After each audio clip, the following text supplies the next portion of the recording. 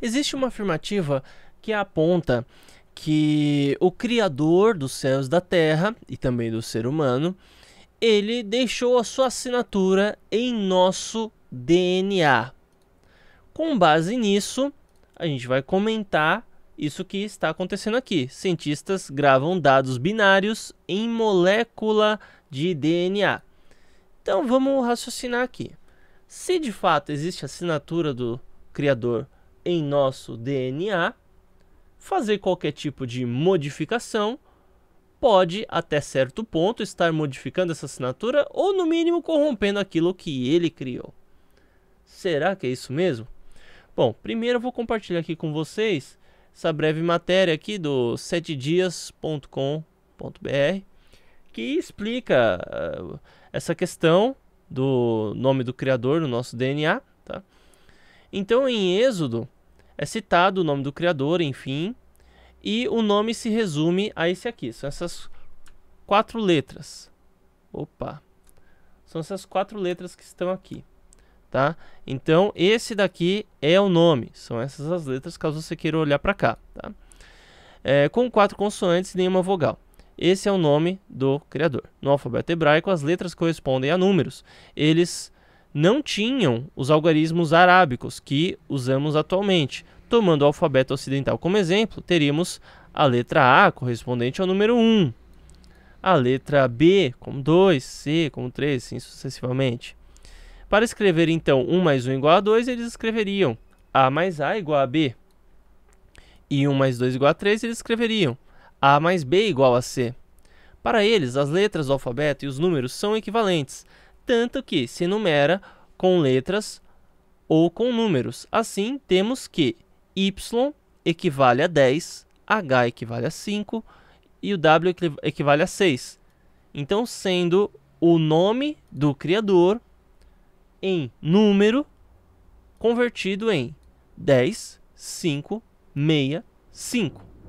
A molécula de DNA, ácido desoxirribonucleico, um composto orgânico cujas moléculas contêm as instruções de, é, que coordenam o desenvolvimento e funcionamento de todos os seres vivos, tem uma dupla hélice que contém as informações genéticas de um indivíduo, de, é, de seus pais e de seus ancestrais longínquos. Essa dupla hélice é interpretada por pontes que obedecem a uma ordem. Há 10 unidades de informações e uma ponte, depois 6 unidades e uma é, de informações e uma ponte. Depois, 5 unidades de informações e uma ponte. E assim por diante. Esse padrão se repete por toda a cadeia de moléculas de DNA. Diante disso, temos o ordenamento molecular 10, 5, 6, 5. E, aplicando o alfabeto hebraico, temos a seguinte equivalência: y igual a 10, h igual a 5, w igual a 6, h igual a 5. É exatamente o equivalente em hebraico para o nome do Criador. Portanto, o nome do Criador é o que une as duas hélices de DNA. É, Deus fez questão de assinar a sua obra-prima, deixando seu nome sagrado no DNA. É, enfim. Então, a partir do momento que a gente tem o nome do Criador assinado no DNA, ou você pode crer que é apenas uma coincidência, você fica à vontade a isso, né? Mas a partir do momento que a gente tem essa assinatura, seria lícito, seria bom mesmo a gente fazer qualquer tipo de modificação no DNA? Bom, com isso, vamos ver aí o avanço da ciência.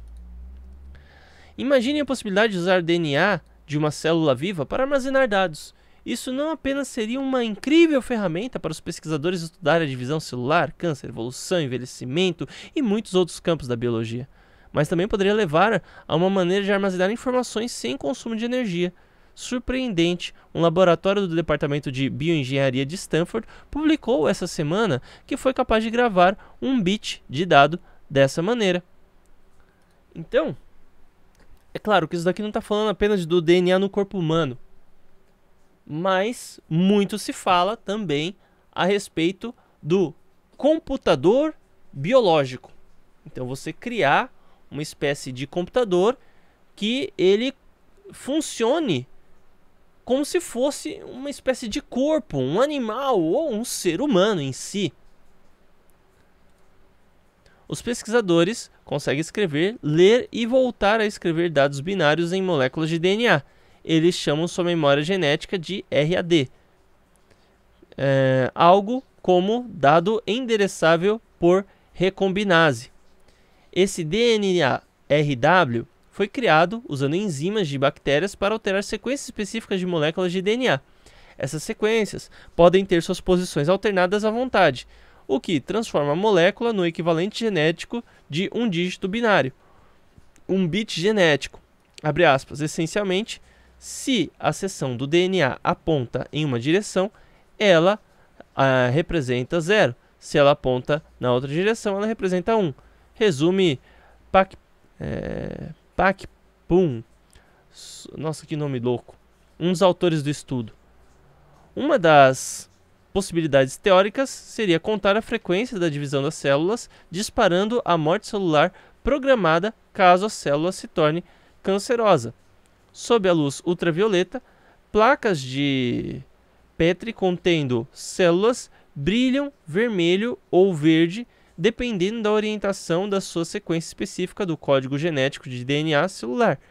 A sequência pode ser alterada através da técnica RAD. Enfim.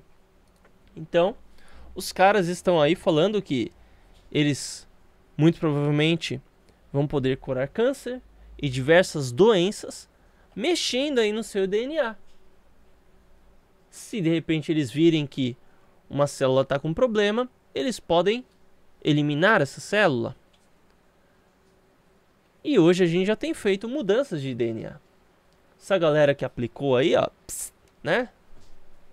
Tomou uma picadinha aí.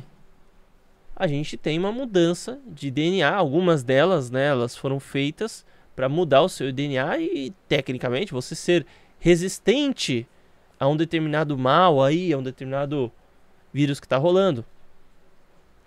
Com isso, a gente vê que o ser humano continua a querer corromper a criação, querer modificar aquilo que o Criador dos céus e da terra fez. O ser humano quer se tornar o próprio Deus. Então, essa escalada genética nada mais é do que uma nova Torre de Babel que está sendo construída. É uma nova escalada aos céus para fazer o ser humano se tornar Deus, se tornar diretamente uma criatura divina. Para fazer o ser humano não precisar mais de Deus, para fazer o ser humano tornar-se um criador e não apenas uma criatura. Então é isso, pessoal. Muito obrigado e até mais.